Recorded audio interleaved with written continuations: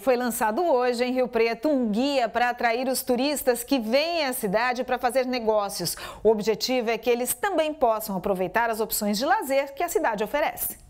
Um calendário digital deve reunir congressos, seminários, feiras, shows, entre outros tipos de eventos que podem ser inseridos no site pelos próprios organizadores.